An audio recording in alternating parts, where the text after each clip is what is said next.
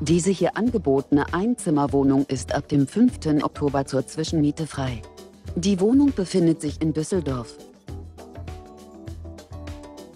Das Objekt wird über eine Etagenheizung beheizt.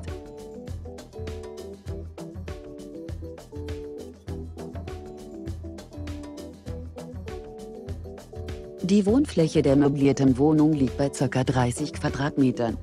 Die Pauschalmiete beläuft sich pro Monat auf 600 Euro. Kontaktieren Sie uns, falls Sie Fragen haben.